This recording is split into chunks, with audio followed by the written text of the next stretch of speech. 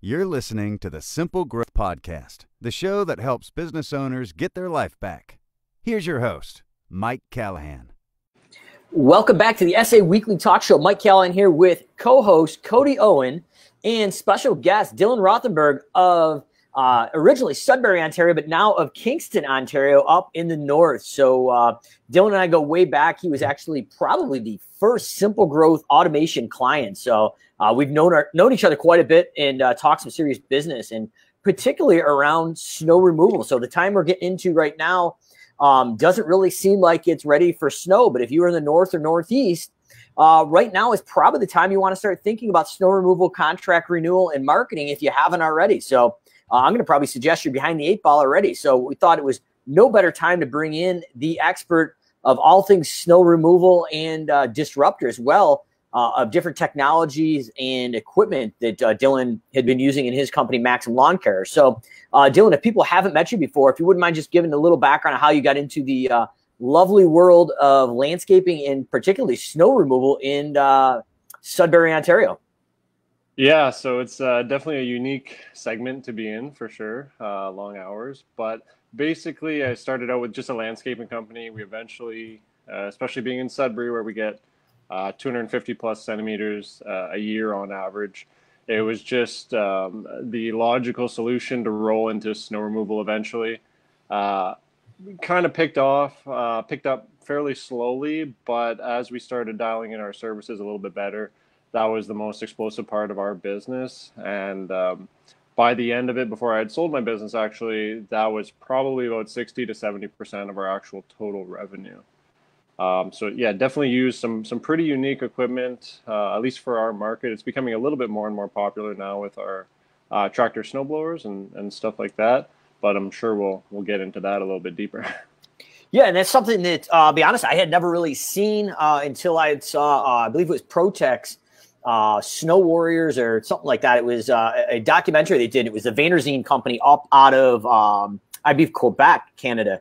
And they had kind of revolutionized uh, the way they plowed snow up there. And they get so much freaking snow that you can't plow it because the mountains of snow literally are 12 to 15 feet on each side of the road and the driveways. So they went in and created this inverted uh, snow blowing opportunity. And a lot of guys like yourself, um, about the same time, jumped onto that. Uh, now in the states, it's probably not that uh, well adopted. So if you're looking to actually see what this looks like here, I'll actually blow up my screen and then we'll get into the content. But uh, if you're watching live on the Facebook here or uh, listen to the podcast, it's worth checking out the live stream here because it's uh, very, very interesting what this actually looks like here. So you can kind of see it. Uh, here's Dillan standing in front of a couple of the tractors that he owned uh, in his business. But um, really interesting on the back of the snowblower, it's just an inverted uh, snowblower that drops down and shoots everything else out. So uh, it allows you to uh, move a lot quicker. And we're going to talk about the benefits and disadvantages of actually a tractor mounted snowblower as well. And if you look in the links uh, of the SA Weekly here on the Facebook Live, um, there is an additional article that Dillan has been uh, featured in in Snow Magazine, the three keys to revolutionize your market. So in this article, Dillan was kind enough to break down uh, three of the main things he did to differentiate himself in that market and pretty much go out and dominate it. So uh, kind of a little added bonus content um, there. Hey Mike, let's yep. drop let's drop the link to that article again. I think you gave everyone the link to join our broadcast. Uh, yeah, I did, didn't I? Yeah. Welcome to the show, everyone. Welcome. Welcome to the show. All right, there we go. Last time allowed to handle the technology here, so I appreciate that, Cody.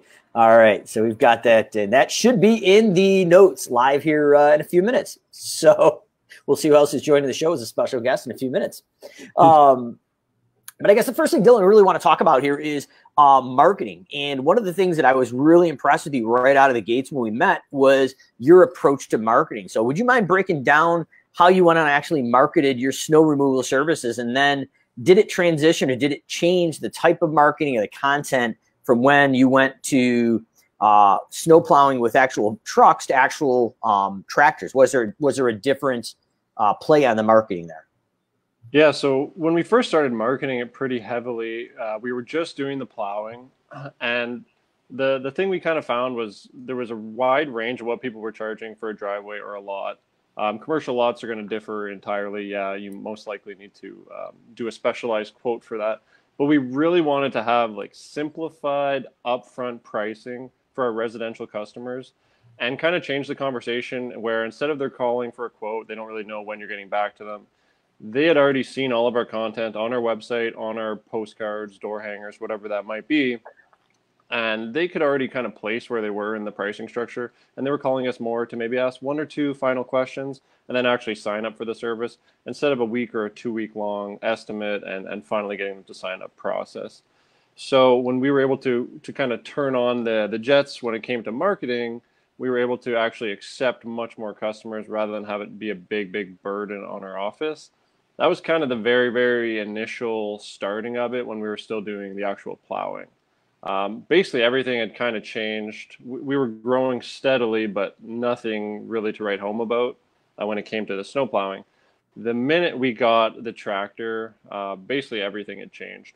There was actually already another company in our market that was well capitalized, had purchased several uh, very nice brand new tractors before us. We were kind of a little bit late to the jump in our relatively small market. Uh, but the, the service was still so unique and, and so different compared to all the plowing companies that uh, with the right marketing, we were actually able to explode that segment. So we started off with just like the regular uh, Facebook ads, Google ads, and stuff like that. Um, and I thought it was interesting to note that uh, our best performing Facebook ad that, that we ever had, we had tried, you know, uh, discounts, catchy little phrases, whatever that might be. We'd even tried radio advertising, stuff like that. But the thing that performed the best, and I found this kind of unique, was literally just a video, about a uh, 30 to 40 second video of a guy doing a driveway with our snowblower. I mean, it kind of makes sense when you think about it, but I found that very unique that we probably had over 100,000 views of that video uh, on Facebook of people just watching a guy do a driveway with this unique technology. Interesting. So, and, that, and it kind of, I think that makes sense uh, because a lot of us are kind of engaged in it. If it's new, we want to figure out how how is it going to work, what's it look like, um, and as you're kind of looking at that marketing play, Dillan, uh, once people saw that video, what it actually looked like and how it operated, was there certain things based on the regular plowing with a truck versus a tractor? Was there benefits, pros and cons that were highlighted in that marketing concept? Or how did you use the the ability of that tractor to differentiate yourself from that market? Yeah, so there was there was definitely a couple main points. You touched on one of them, the fact, especially in Sudbury, you're you're 100% right. Like by the end of the winter, sometimes you'd literally have uh, on regular uh, winters like six to eight feet of snowbanks at the end of your driveway, right? Becomes quite a bit of a hazard. Um, and, and you actually do run out of room sometimes uh, with just a regular truck where you have to backblade and, and push it up into the lawn. So on heavy winters, people would literally have to call like a backhoe or a loader and actually push those banks back in their lawn. With the snowblower, there was no chance of that, right? So you had full visibility all winter. And there was never, no matter how uh, intense the winter was, there was never a chance of you having to, to call someone to actually relocate the snow. That was that was a really easy point. Sorry, go ahead, Gordon. Oh, uh, I wanted to ask a question, and this might be like because I grew up in Texas, and the most snow I've ever seen is like you know a half inch one winter ten years ago. Um, how is a snowblower creating like not creating a bank? And this is probably just me not understanding the technology, so feel free to. No, no, that's a great question. So rather than like the typical residential snowblower where you're kind of pushing it and it's, and it's going up, right? This has quite a bit more power. So you could literally launch the snow, you know, 30, 40 feet up in the air, right? Uh, depending on the size of the tractor that you had. So by it, putting it so far back initially, and then eventually being able to load the snow on top and on top, you never really ran out of room. It's dispersing it. Okay. Yeah, exactly. Cool. Yeah, and these are these are big agricultural tractors. These aren't just like a little tractor you get down to Home Depot or Lowe's. These are these are good size, uh, almost the cab of a backhoe. To put it in perspective, if no one's seen these things, they're they're good size machines, um, and they've got a like a lot of horsepower off the back end. Um, so talking about the, the, the benefits there and the differentiation of that equipment, Dillan, uh, one of the things I found interesting is it actually looked like if I had done my research right, that you actually GPS enabled the tractor um, but the take on it is a lot of us in the snow removal, including myself, had GPS in all our trucks and salters and loaders. Mm-hmm. Um, but did you actually open up the GPS to your client base? Yeah, that's a great question. So we did, uh, not for the commercial, just we, we didn't really want to open our, ourselves up to kind of the liability potentially there. But for all of our residential customers, for sure. Um, and it was something we kind of had to look at uh, just due to the volume of requests and, and calls that would come in during a storm. We were kind of looking at any any way possible to diminish that amount of response during a snowstorm when everybody's wondering, hey, where, where are you guys or, or whatever if the snow started late at night. So by opening up the GPS, um, we, we were basically able to allow them to look and see where their specific tractor was. So as we were dispatching the, the different tractors, they were all numbered. Each each tractor had a number, and then the route had a number as well. The customers eventually started to kind of realize that okay, tractor number six, for example, was their tractor. So when they got that dispatch, hey, tractor number six is your tractor. Here is the login. Most people would save it on their phone or on the app, and they would actually log in and see that. And not everybody, but like 50 to 75 percent of them were actually really good at that, and um, you know, kind of diminished the amount of calls coming into the office, which is huge during a stressful snowstorm. Yeah, and I, I can't. I, I, you know, I wish you had shared that with me in the earlier years because I tell you, I, I almost had some heart, heart attacks along the way. I mean, in Callahan's, we were plowing uh, at our heyday uh, when we capped it at 600 residential driveways. So you can imagine, obviously, very similar to what you were doing in Sudbury. When that, if you if you don't have that kind of volume, you can imagine what that looks like. You know, 600 driveways are getting all done. You've got you know 15 or 20 vehicles or tractors going out. The call volume, and especially a massive storm, uh, was unbelievable. And the, the worst was ones they, they actually the city would shut down the main streets to just plow trucks and emergency vehicles.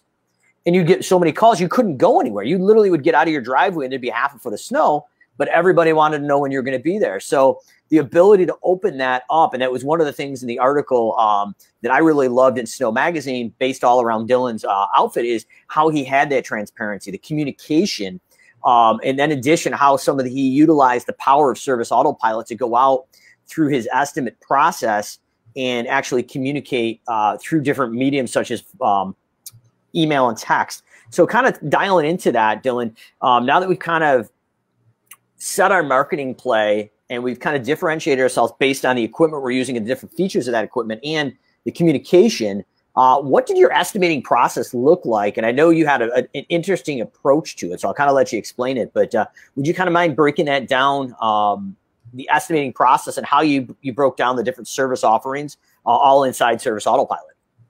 Yeah, for sure. So even though our pricing was very very upfront and it was visible on our website, and like I said earlier, people were calling more so to sign up due to even the little bit more limited liability when it comes to residential snow removal, we still had to get every single person to sign off on something.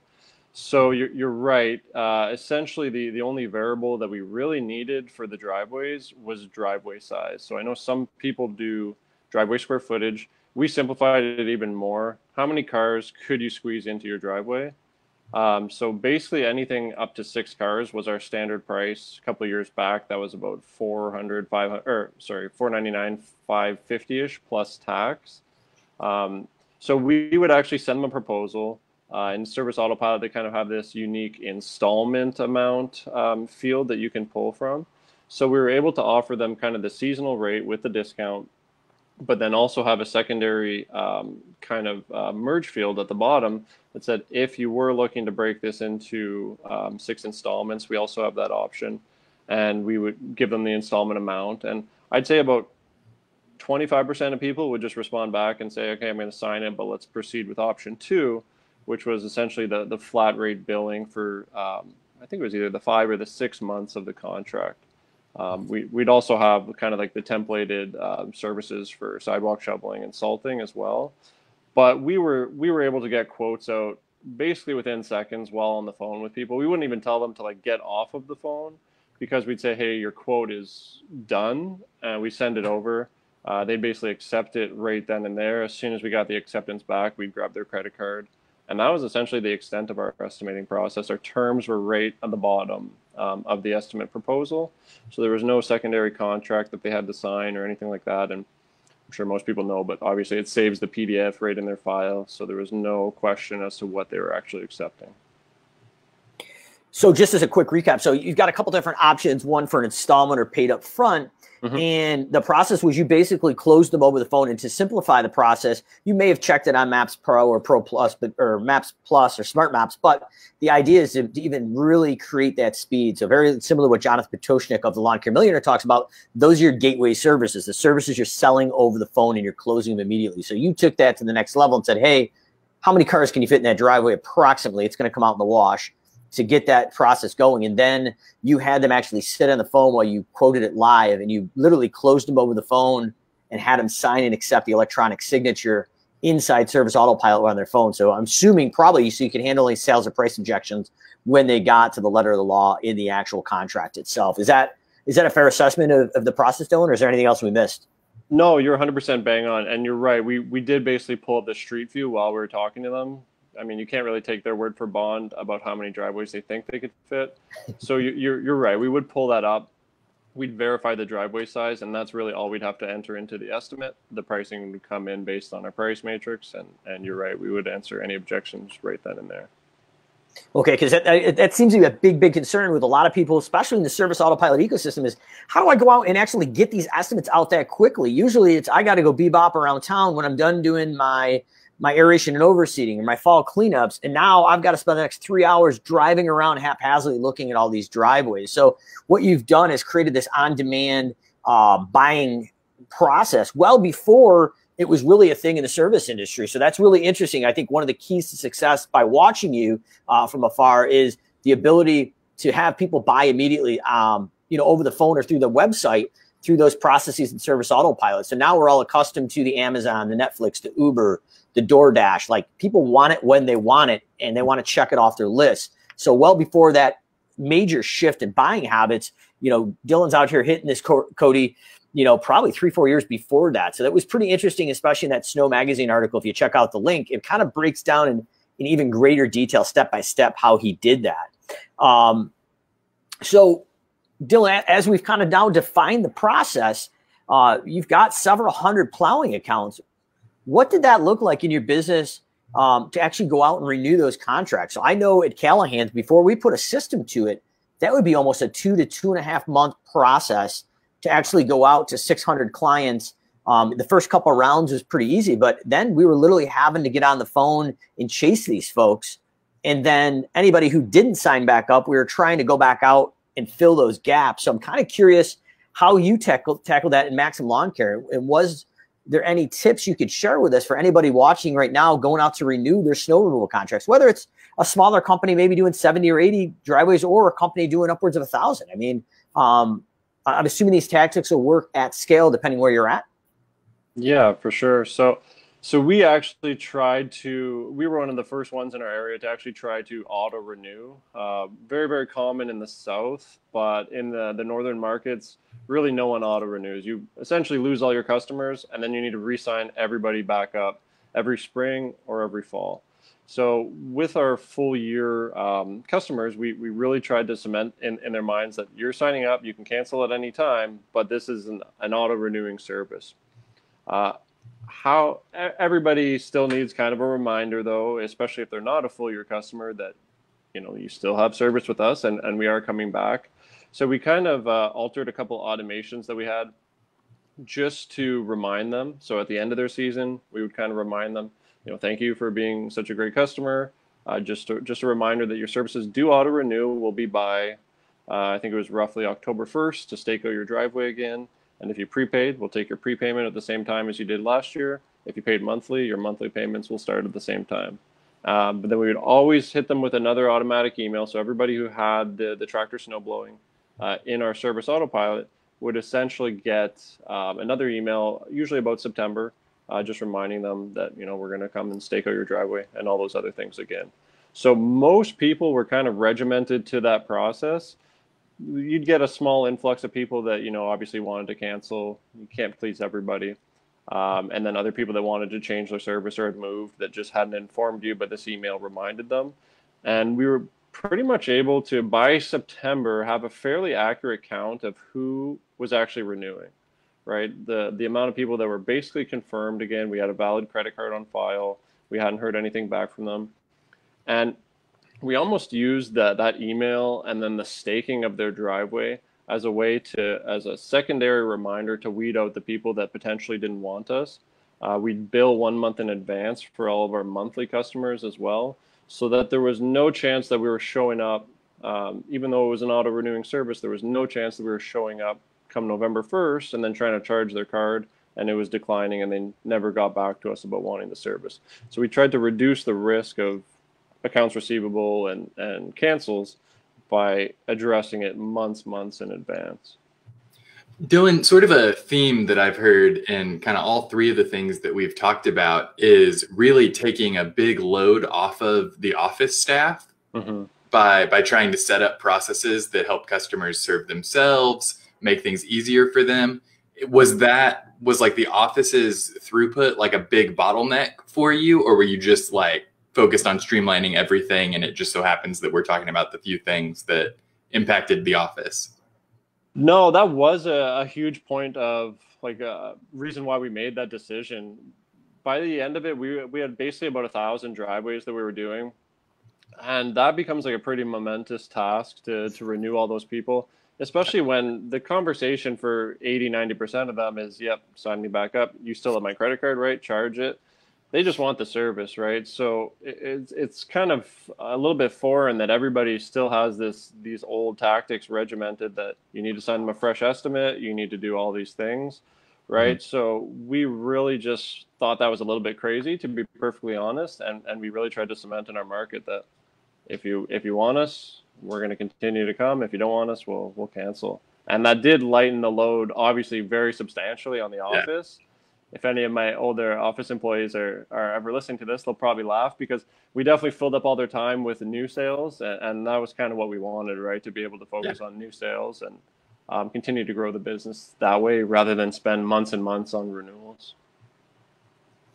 Awesome. So I know I'm, I'm just taking a look at a couple notes here on the other screen that I had. And, and basically, you know, you went in and you incre- increased efficiency with the machines. Uh, you started selling early um, one thing we didn't touch on um, that I'm assuming is did you use uh, any of the database or anything inside Service Autopilot, far as um, automations or even a manual process to go in and say, hey, it looks like you've got either regular lawn mowing or the automated uh, lawnmower bot uh, service, but you don't have snow removal. Was there any segmentation of the database to actually upsell that service to kind of create a year-round client?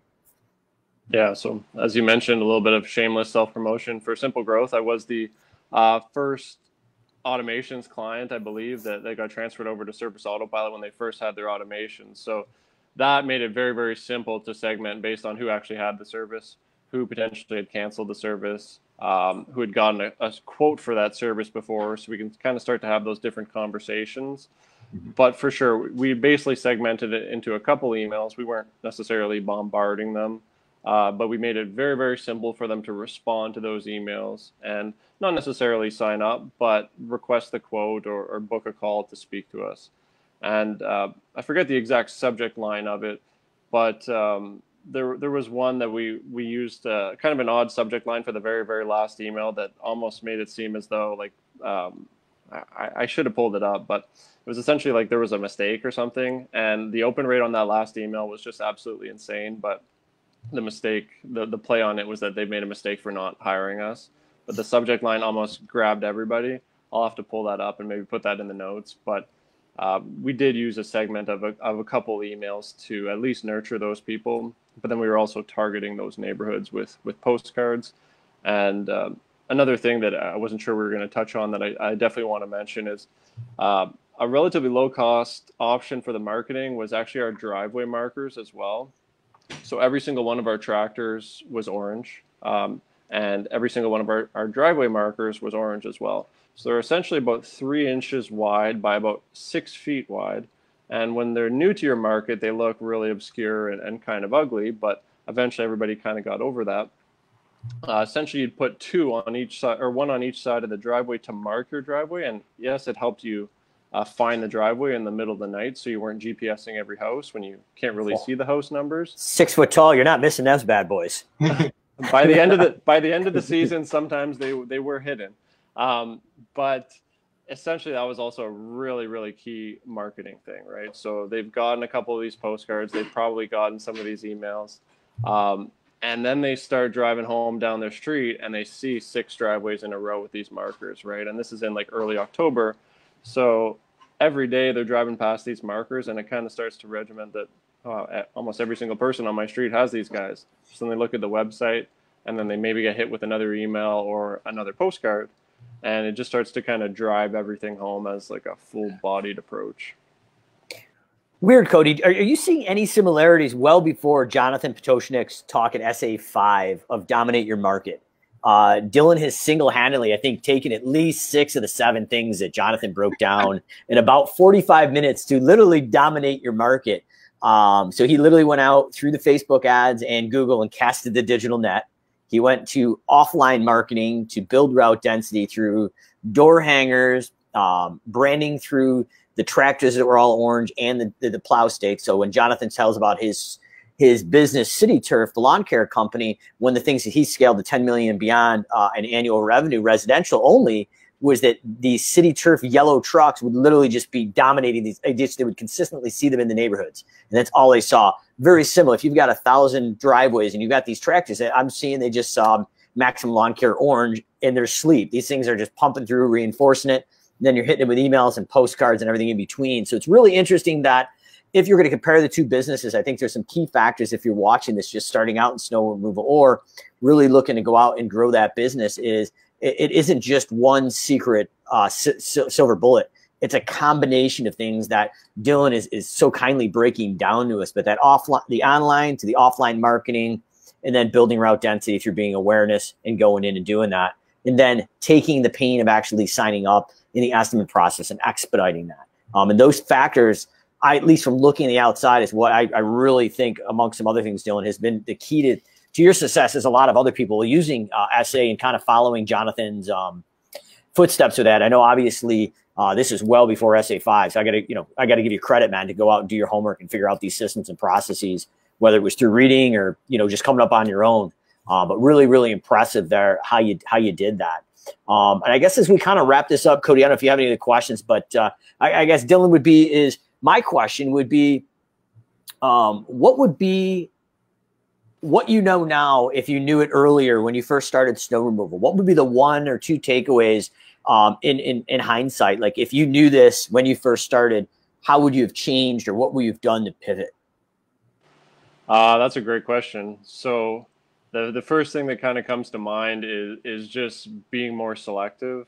Uh, when you're like first starting to grow and you're you're actually getting some traction, it's it's definitely hard to say no to those things. So if I was to relaunch uh, my business, I definitely wouldn't do like residential plowing and, and all these other things and, and even commercial plowing, even though it, it definitely uh, brings in some nice sales.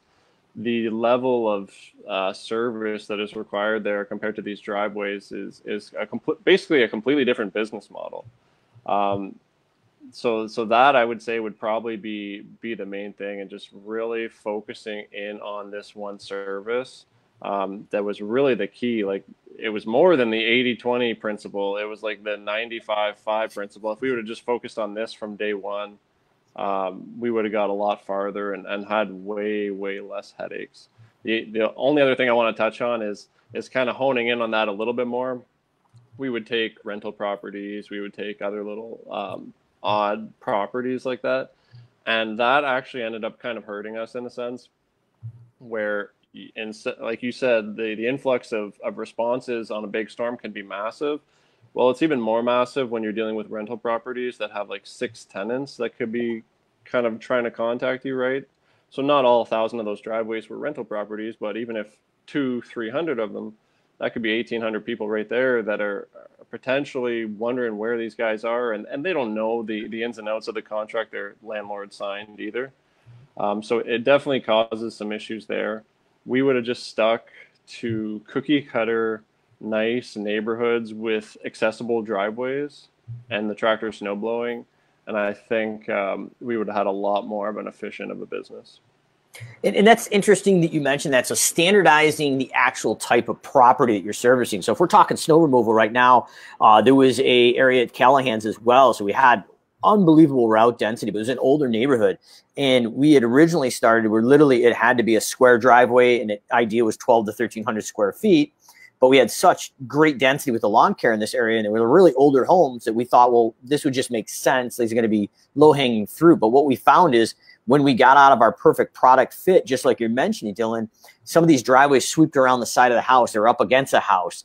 They had the drive, the, the house, and then the driveway, the garage was off like kitty corner on a 45.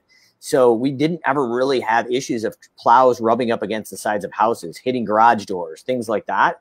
And when we got away from the standardization of what we were good at, what the equipment was set up for, uh, we had the same issues. I mean, we had one truck that was buried behind a house literally for like seven or eight hours in a storm of like over a foot of snow. But it was because we got out of what we were good at. We kind of got greedy and thinking like, well, if we if we stretch this out a little bit, we can even get more work. So I think that's a big takeaway, not only for snow removal, for lawn care and home cleaning as well, uh, but particularly for snow removal. If your equipment is not set up for it and you haven't standardized it, um, that's a big issue. And, and I guess uh, we didn't really talk about this beforehand, Dillan, but um, based on the standardization of your equipment and standardization, particularly uh, if you're to do it again, of the actual driveways, um, did that lead to any, uh, I guess, benefits in your training as far as being able to standardize the training as well? And, and what did that look like? Because – you know, with snow removal, with plowing, occasionally you'll see some guys or girls get um, like real dry soil or maybe some loose gravel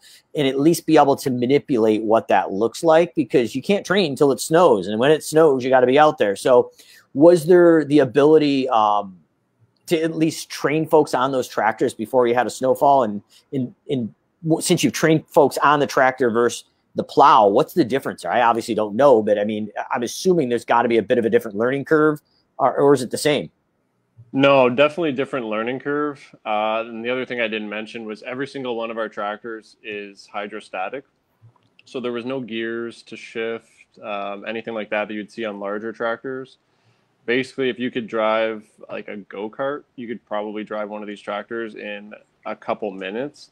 Now, you're not going to be perfect doing 20, 30, 40 driveways an hour, uh, but you're going to be able to go out there and actually do it. So that definitely shortened our, our learning curve and, and our training um, down quite substantially. Uh, definitely compared to a, a, plow truck where you, you definitely need to be more careful and there's so many more factors than simply just back in, drop it, turn on the PTO and and drive out. Um, so we were able to basically train someone up to be functional on a driveway, not super efficient. I'd say within like 20 to 30 minutes. Uh, but for them to become an expert, obviously there was uh, a couple week learning curve. So we would always try to uh, get those people out quite early uh, during the storms. But honestly, I'm sure you've experienced this too. No matter what amount of training it seemed like we did before the the season began, the uh, the first storm is always interesting to say the least. And I kind of got firsthand action with that again, actually helping the company that had bought me out um, last year during the first storm of the season. So it was a pretty interesting perspective. Whew, just just talking about this, I got the snow anxiety uh, kicking in already. So I, uh, if you've never plowed snow or run a business, um, you know you don't know what snow anxiety is. But anybody's watching this knows if you, I don't care how big the business is, how removed you are, if you've sold your business, I will tell you. Uh, even after going on two years now with Callahan's uh, being acquired, I still wake up in the middle of the night when I see snow and I get the I get the snow anxiety. I'm, I'm like a little kid licking the window, like, oh, it's snowing. Uh, what's going on out there? So it, it's interesting that uh, you know there's such commonalities no matter where in the market. Um, but as we're, we're talking about that equipment and that training, Dillan, I, I also I guess uh, naively want to know because a lot of people are intrigued by the equipment setup. Uh, what's it look like far as visibility? So not being a tall guy myself, sometimes I'd have to get the old uh, phone book out of the old, uh, you know, out of the house and be able to put it underneath you so I can see over the back of the truck and when I'm backing up. So what's that look like? Are those seats adjustable? Is it, I'm assuming it's almost a glass cab 360. So are you, are you having better visibility? Is it just, is it safer? Is it easier to manipulate uh, around those driveways? Yeah, it's great visibility compared to a truck for sure. And the other thing that people don't realize about the tractors is most time you think of a tractor, you think it has like the the the uh, plow attachment in the front and like maybe something in the back.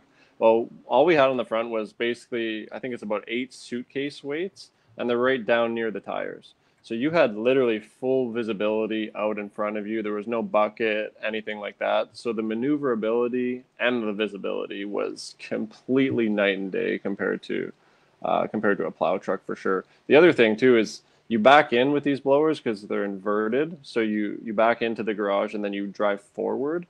Uh, so you're never backing out onto a road like you would with a plow truck, which is very very common. You're always driving forward out onto the road, which definitely helps quite a bit. Um, you know, inevitably you're going to be doing some plowing during the day um, on a busy road and backing up. You know, you could be stuck in a driveway for easily 20 minutes, but if you can pull out quickly uh, you're able to actually kind of squeeze out, do it, and then maybe back in if you need to do another pass. So there, there's so many benefits. Uh, if anybody is looking to, to actually implement this, um, I definitely, definitely recommend it.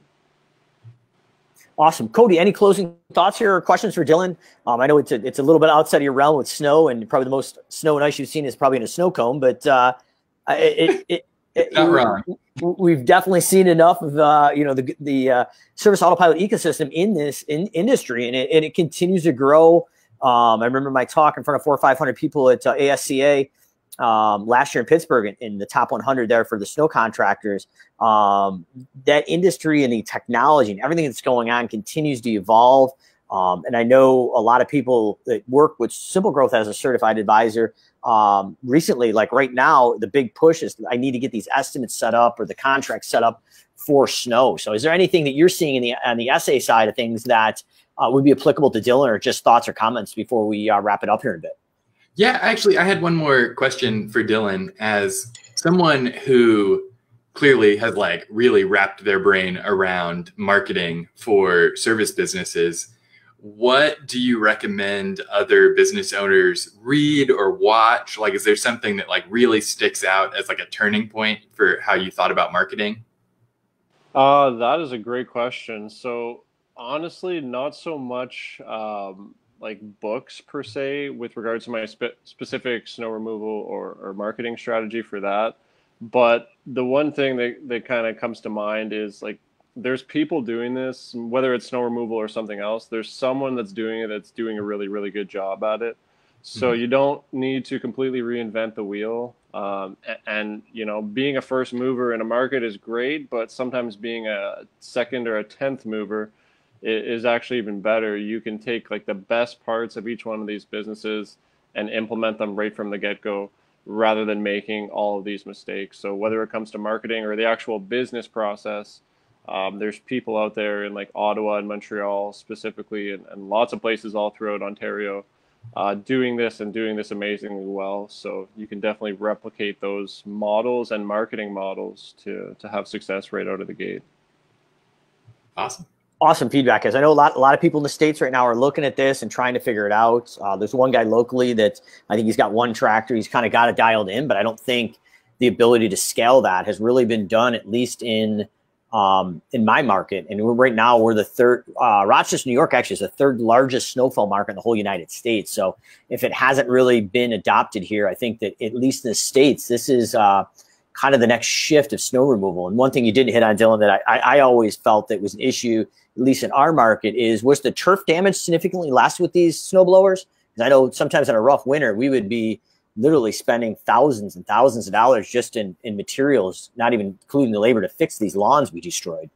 Yeah, that was uh, definitely something we had plastered all over our marketing materials as well, um, just to kind of put some some scarcity into to people's minds. Maybe not scarcity is the correct word, but people, even though it might not be 100% true, they associate plows with potentially after you implement these these tractors with special cutting edges people associate these uh, plows with damaging driveways, whether it's asphalt or interlock, uh, versus these tractors that have kind of um, special UHMW kind of hardened plastic blades that won't scratch the interlock. So as soon as you kind of start cementing that in people's minds that hey, we're not going to damage the driveway, and there's no need to drive on your lawn like a plow, where you actually do need to push the snow considerably far back um, they instantly start thinking about this is the only reasonable option to do it as long as the price is, is valid. And then when they see the price and the amount of service that they can get, because you're so much more efficient, it, it almost sells itself. So that's awesome. Awesome. Well, Dillan, appreciate you, you dropping some knowledge on us here. Um, obviously, uh, Cody, thanks for joining us as well today. Uh, SA Weekly here coming up. Uh, we've got uh, special guests, uh, hopefully going to be announcing later uh, next week, um, headliner, and then the following week we're going to be diving into accounting and um, financial numbers as well. So, kind of rounding it out. If you have any suggestions, if you're watching the SA Weekly Talk Show on Facebook Live or the podcast, uh, feel free to drop us a note of any suggestions um, that you're doing. And as well, uh, don't forget if you are part of the SA ecosystem, we've got uh, SA Thrive, the basically on-demand digital um, conference, basically that is going to be going live. I believe November uh, is it 10th and 11th, Cody?